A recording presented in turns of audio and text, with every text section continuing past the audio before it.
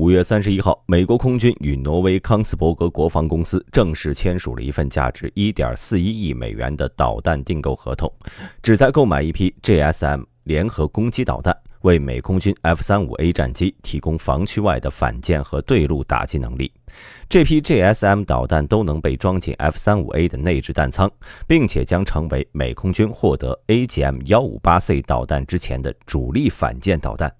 GSM 作为美空军 F 三五 A 的新伙伴，究竟有何来路？今天我们就来聊一聊。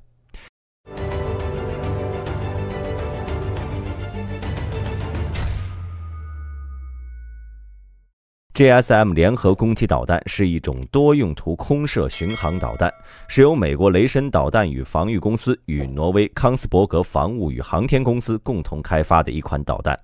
值得一提的是，这款导弹并不是单独立项研发而成的，而是由之前的 NSM 海军攻击导弹改良而来。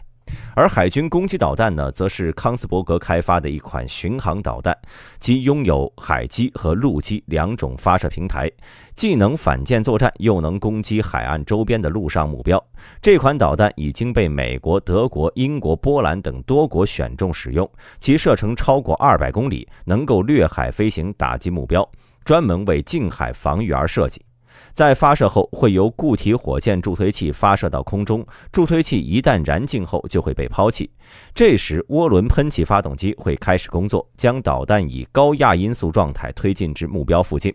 如果导弹面对的是陆上目标，一百二十千克的多用途爆炸弹头就会直接选择攻击；如果目标是舰船，导弹则会调整切入角度，从水线附近撞击敌方舰船。确保达到最大的杀伤效果。为了顺利完成打击任务，NSM 导弹的外形应用了部分隐身设计。虽然其0.93马赫的最大飞行速度在各式导弹里并不算亮眼，但 NSM 导弹在末端飞行时可以进行随机机动，用来规避敌方的近防系统和导弹拦截。尤其是 NSM 导弹的钛合金。爆炸破片弹头采用了轻量化的设计手法，其不仅能够保证对硬质目标的杀伤效果，还进一步降低了导弹的重量。正是因为 NSM 导弹的重量比较轻，对于载具的兼容性也因此得以提高，并不是只有大吨位的海军战舰才可以搭载。波兰军队就使用了车载发射平台，将 NSM 导弹部署在了海岸地区。而如果选择海上部署，那么不论是挪威本国服役的南森级巡防舰，还是美国的自由级滨海战斗舰，都可以列装 NSM 导弹。正是因为 NSM 性能合格，可以装载的平台又多，因此它一经问世之后，就获得了许多国家的青睐。一款武器呢，一旦大受欢迎，军火商就会尝试将它的优点复制到其他相关的领域中。正因如此，GSM 联合攻击导弹就应运而生了。这款导弹在 NSM 的基础上更进了一步，实现了从海军打击导弹向空射巡航导弹的转变。其具有更大的弹头、更好的对海对陆进攻能力以及更远的射程，其最大攻击距离能够超过五百六十公里。GSM 隐身反舰导弹的弹体前部装有红外成像目标导引头，中段配备燃油箱和高爆破片战斗部，尾部则是涡轮喷气发动机和 X 型尾翼。该弹弹体采用了先进复合材料制造，外形进行了隐身优化，加上尺寸不大，所以隐身性能良好，能最大限度降低舰载雷达和机载雷达的发现概率。GSM 导弹还具备航路规划能力，可以依据地理信息进行自主定位飞行，对沿海目标和地面目标进行准确打击。其搭载的红外成像导引头具备优良的抗干扰能力。还配备了双向数据链路，允许导弹在发射后与飞机交换战术数据，确保操作员在飞行期间能够对导弹进行目标更新、重新定位、任务终止和炸弹命中指示等操作。另外，GSM 导弹尾部的涡轮喷气发动机也赋予了该弹较高机动性能，可以在末端突防时进行高过载机动，因此突防能力是要高于 XASM-3 这样的超音速空射导弹的。更为重要的是，GSM 导弹自从诞生之初就为 F-35 雷电二战机做了系统整合，它的形状得到优化，更适合被 F-35 的内置弹舱装载。SM 导弹弹体在 NSM 的基础之上，采用了更加细长并且近似方形的外形设计。弹体上的弹翼折叠之后呢，能够完全平整地平贴在弹体上。而一旦 GSM 导弹被发现后，其弹翼又会比 NSM 更加细长，表面积也有所增大。与此同时，GSM 导弹的进气口从下部转移到了两侧，这就进一步提升了导弹的隐身性能。由此可见，美国空军使用 GSM 导弹，就是为了在 AGM-158C 导弹成熟之前，为自己的 F-35A 战机提升对舰和对地攻击能力。对于美国来说，使用 GSM 导弹无疑是一个稳妥的选择。虽然美空军第一次为 F-35A 战机采购 GSM 导弹，但这款武器在其他国家已经有服役先例了。事实上，在美国与康斯伯格公司签订协议前，挪威皇家空军就在2021年10月为 F-35 战斗机采购了一批 GSM 导弹。21年12月，芬兰空军在确定以 F-35 战机作为未来主力战机后，也选择了 GSM 导弹。而挪威和芬兰的相关动作还不是最快的，早在2019年3月。日本航空自卫队就与康斯伯格公司签署了首批联合攻击导弹的供应合同，而 GSM 导弹广受欢迎的背后是各国对于反舰导弹的认知趋同，那就是反舰导弹并非越快越好。反舰导弹这种武器呢，自从第二次世界大战末期出现以来，一直作为水面舰艇打击利器受到重视。这种武器在不断追求高突防性能的过程中，逐渐发展出了超音速和亚音速两种研发方向。超音速反舰导弹飞行速度快，能够最大限度缩短巡航时间。掠海飞行的超音速导弹自发射后出现在海平面那一刻起，留给敌军战舰的反应时间常常还不到半分钟。一旦敌军战舰拦截导弹失败，那么剩下的时间就只够近防炮再去拦截一次。即使超音速反舰导弹被击中，该导弹也可能凭借巨大的惯性继续冲向敌舰，造成伤害。不过，超音速反舰导弹也有先天不足，那就是这种导弹为了增加射程，会在打击远距离目标时采用高空巡航模式的接近模式。因此，这种导弹在高速飞行时，其产生的热信号会和自身雷达信号叠加在一起，会比较容易被敌军的舰载雷达发现。与超音速反舰导弹相比，亚音速反舰导弹的速度虽然偏慢，但其搭载的涡轮喷气发动机也会因此减小燃料消耗速率。亚音速导弹的燃料消耗量也远小于超音速导弹上冲压发动机的燃料消耗量。在打击远距离目标时，亚音速导弹也能进行长时间低空掠海飞行，利用地球曲率来躲避敌军军舰的雷达探测，以更加隐蔽的方式实施攻击。再加上现有的导弹隐身外形设计理念，就进一步降低了亚音速导弹被发现和拦截的概率。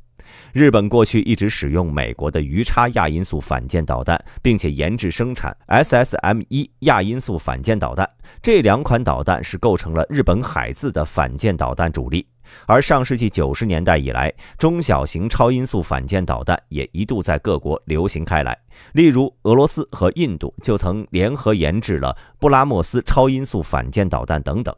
在这一背景下，日本也曾发展过国产的 XASM-3。超音速空舰导弹。不过，日本并没有放弃对亚音速反舰导弹的追求。作为亚洲第三个装备隐身战机的国家，日本为 F-35A 选中的导弹搭档也是 GSM。事实上，战机隐形能力与导弹隐形能力的契合，正是 F-35 战机与 GSM 导弹组成黄金搭档的重要原因。日本为 F 三五战机搭载 GSM 导弹，就是为了打造全隐身反舰突防综合体，对水面舰艇进行精确暗杀。进行大规模反舰作战时，这一组合还将得到日本自卫队 F 二战斗机与 XASM 三超音速反舰导弹组合的作战支援。XASM 三超音速反舰导弹可以负责吸引对方雷达，GSM 隐身反舰导弹则会洞穿对方舰队的防空网络。而作为 F 三五战机领头研发国的美国，之所以比挪威和日本等国家更晚的使用 GSM，主要原因呢，还是美军之前一直在等待 AGM 幺五八 C LRASM 远程反舰导弹。不过，这种导弹的成熟速度并没有美国空军想象的那么快，所以美空军还是优先选取了 GSM 导弹作为现阶段的过渡方案。GSM 导弹对美空军 F-35A 的战力提升其实是显而易见的，其或许不是美军预期构想中最好的空对舰导弹，但确实是帮助美军构建了战术优势。如果与俄罗斯苏五七战机使用的 Kh 三五空对舰导弹相比，GSM 导弹最大射程更远，重量更轻，使用的隐身外形设计和弹头导引技术也更适应现代作战的需求。俄空军装备的这款主力空对舰导弹，其实还停留在鱼叉导弹的时代，而美空军除了追求导弹的性能领先外，还在力求导弹的集约化和小型化，将越来越多的导弹装进隐形战机的内置弹舱。美空军此前也曾表示，选择 GSM 导弹的做法，从某种程度上来讲，也是为了给后期的 LRASM 导弹去匹配 F-35A 战机所做的预先准备。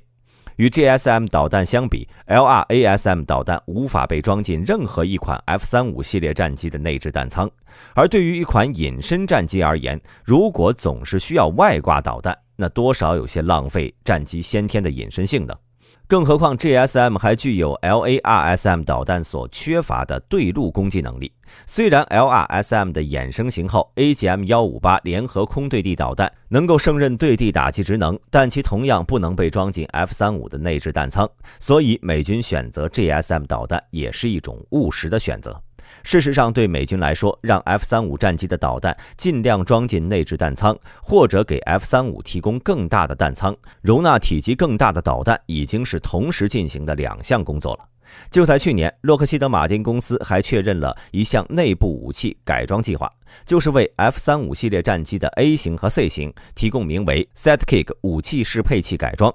这将使得 F-35A 战机的内置弹舱携弹量将进一步扩大。若以 AIM 幺二零空对空导弹为例，F 三五 A 的携弹量将会从现有的四枚扩展到今后的六枚。在此之前，F 三五内部只能搭载四枚 AIM 幺二零，一直是其遭到诟病的一点。尤其是在空战模式不断进化的今天，除了给 F 三五 A 战机的内置弹舱扩容外，美国的军火商也在不断的研发体积更小的导弹。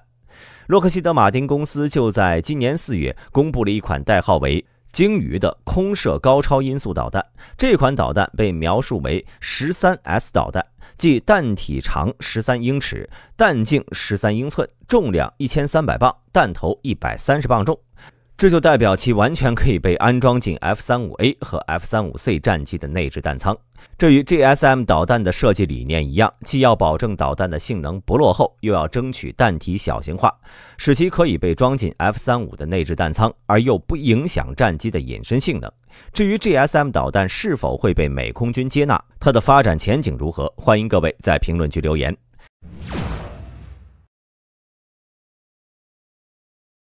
了解完美空军选中的 GSM 导弹，明天的军备科技树栏目，让我们回到一百年前，看看美国历史上第一架军机是怎样诞生的，美国空中力量的一战表现又是如何呢？明晚六点半，我们不见不散。